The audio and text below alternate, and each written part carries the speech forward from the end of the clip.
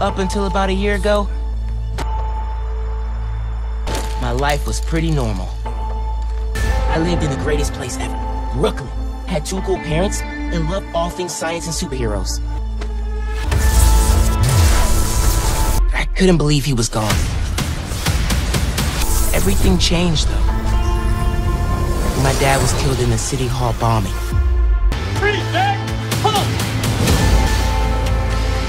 Your father died protecting this city. He taught you to follow your conscience in an often cruel world. And so was Spider-Man. But Peter Parker and his Aunt May, they were there for me. Who I later found out was Pete.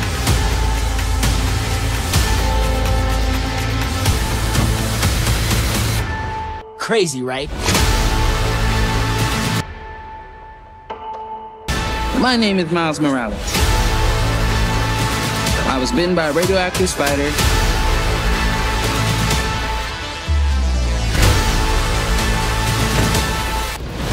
You're a born hero, Miles. Don't ever lose that fighting spirit.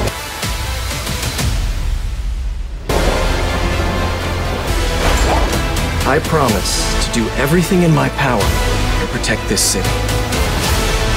A hero's just someone who doesn't give up. Now it's your turn. Go be a hero, Miles. Why do you keep fighting? You can't win! Cuz.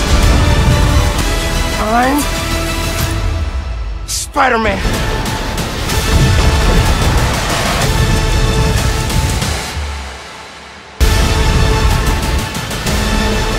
I killed Spider-Man.